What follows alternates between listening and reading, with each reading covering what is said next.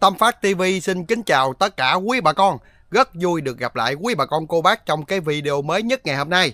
Thì ngày hôm nay em sẽ báo cáo cho quý bà con một cái thông tin liên quan tới chú Bảy bánh xèo. Rồi, bây giờ mình không nói dài dòng, bây giờ mình vô liền luôn nha quý bà con. Thì em lướt ở trên các cái hội nhóm yêu thương chị Loan, em mới đọc được một cái bài viết mà em tin chắc rằng cái bài viết này rất là nhiều quý bà con đồng cảm với em. Rồi bây giờ á, là em đọc lại cho quý bà con mình nghe nha. Thì có bài viết nó như thế này. À, liệu rằng ừ à, chú Bảy có dính líu vô cái tiền phúng điếu không ta? Đó, và liệu rằng sau khi mà cô Sáu từ đề đó bán đi những cái nhà từ đường thì chú Bảy có hưởng được cái phần nào hôn ta? Hay, hay cực kỳ hay, cái câu hỏi rất là hay. Rồi bây giờ em và quý bà con mình cùng nhau mà đi phân tích và cùng nhau mà tìm cái câu trả lời nha. Thì bây giờ xin phép hỏi quý bà con mình như thế này. Theo tất cả quý bà con á, chú Bảy á, không có dính líu vô mấy cái tiền chẳng hạn như tiền phúng điếu không quý bà con? Quý bà con mình có thể để lại cái ý kiến và cái bình luận, cái suy nghĩ của mình dưới cái phần bình luận dùm em. Thì theo cái quan điểm cá nhân của em nha, em nghĩ á, có. Tại sao có? Thì bây giờ em hỏi quý bà con mình như thế này.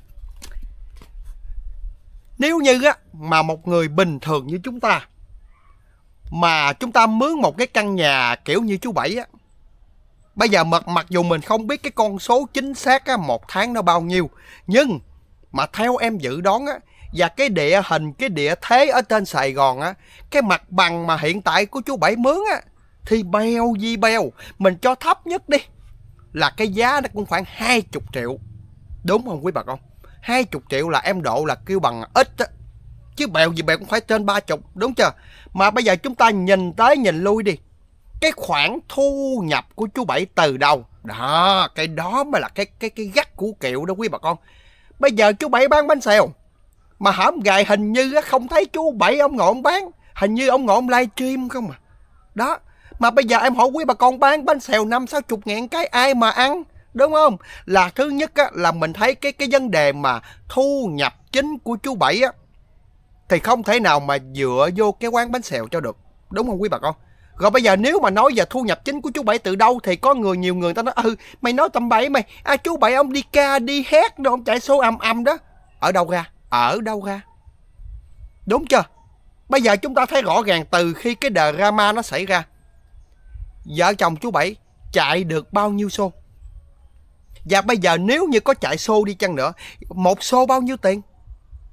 Đúng không quý bà con? Thường thường á, theo em biết á, một xô mà ca sĩ người ta chạy á, tùy, tùy theo cái độ nổi tiếng. Ví dụ giờ ca sĩ mà nổi tiếng á, thì một đêm người ta hát á, vài tỷ á, cũng có.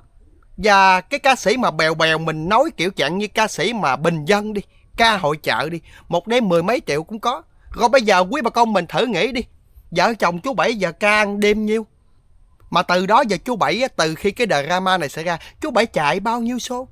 Thì bây giờ từ những cái chuyện đó chúng ta khẳng định được một điều, vợ chồng chú Bảy không thể nào mà thu nhập từ cái việc chạy xô và cái việc mà bán um, bánh xèo. Còn cái điều thứ ba, thêm bảy ba bán hàng online, đắt không? Thì xin thưa với quý bà con không hề đắt. Tại sao? Trời đất ơi bán hàng online là mình phải có một cái lượng khán giả nó khổng lồ. Bây giờ ví dụ thêm bảy ba livestream đi. Ừ, ba livestream bèo gì bèo á cũng phải có khoảng chừng một ngàn người coi trở lên thì quả mai mới bán hàng được. Em nói quý bà con mình đồng tin không? Một ngàn người người ta coi thì bây giờ mình cho cái tỷ lệ thấp nhất là một phần trăm đi thì bây giờ 10 người mua mua hàng đúng không? Mà bây giờ trời đất ơi, mỗi khi mà em vô em lướt, em coi thêm bảy, ba like á, Ôi ôi, cái con số nó vô cùng ấn tượng. 17 người, Lâu lâu cái kỷ lực 22 người coi. Thì em hỏi quý bà con cái tỷ lệ 1% là bao nhiêu người mua? Không lẽ âm hai người mua, Không lẽ âm ba người? Đúng không? Thì bây giờ qua những cái điều đó, Chúng ta có thể thấy, Dám khẳng định luôn, Chú Bảy và thêm Bảy không thể nào mà thu nhập từ ba cái khoản đó được. Đúng chưa? Mà bây giờ cho dù ổng bả thu nhập từ ba cái khoản đó đi chăng nữa thì bây giờ làm sao mà một tháng đủ đủ để mà chi tiêu mặt bằng nè, điện nước nè, sinh hoạt, ăn uống hàng ngày nè. Trời đất ơi, em ở dưới quê mà em sinh hoạt một ngày không là hết 300 ngàn á, chứ không phải ít đâu. Vợ chồng con cái ăn uống rồi kẹo mút đồ tùm lum tao nó búa lúa xua, chưa tính tiền con cái đi học nữa. Đúng không quý bà con? Rồi bây giờ thêm bảy á, bà làm vậy á. Lâu lâu cái trời đất ơi, Thím Bảy chuẩn bị mở live show nha tụi con. Mở live show cho con trai Thím Bảy nha. Ủa tiền đâu ra? Tiền ở đâu ra? Đó trời đất ơi. Cái đó mới gắt củ kiệu à nha. Đúng không quý bà con? Tiền ở đâu ra? Tiền ở đâu ra? Chưa kể mỗi hàng tháng phải chi tiêu tiền mà. Tiền nhà, mặt bằng, tiền điện, tiền nước. Tiền đủ thứ tiền. Ở đâu ra? Có phải Chú Bảy Dính líu tới tiền phun điếu? Đúng không? Đúng chưa? Trời đất ơi, cái câu mà hồi nãy mà cái bài đăng ở trên mà hồi nãy em nói ở đầu video, nó rất là hay và nó rất là có lý. Mặc dù bây giờ chúng ta không thể nào mà khẳng định 100% nhưng chúng ta nghi ngờ tới 99%. Đúng chưa quý bà con?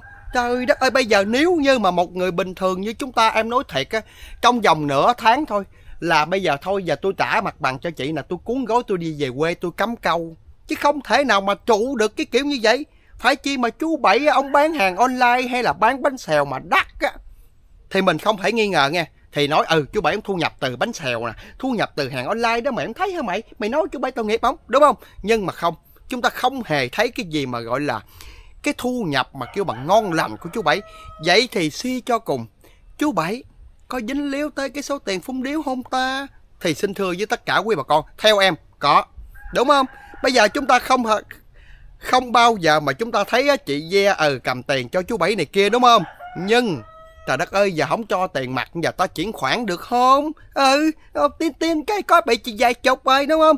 Giờ alo ờ, à, Ve hả con? Cậu Bảy ừ cậu Bảy giờ cần bảy à, vài sĩ vài sĩ là vài trăm triệu đó quý bà con. À, chú Bảy mở live show ừ, ừ, rồi xong nhắn qua. Đúng không? Ai biết ai biết đúng không? Chỉ có ngân hàng biết thôi chứ sao chúng ta biết được đúng không quý bà con? Thì đó là một cái bài viết cũng khá là hay. Thì theo tất cả quý bà con, chú bảy và thím bảy, có dính liêu tới tiền phun điêu hay không? Quý bà con mình có thể và quý bà con mình cho em biết đi cho em cái ý kiến, để lại cái ý kiến dưới cái phần bình luận cho em biết nha quý bà con.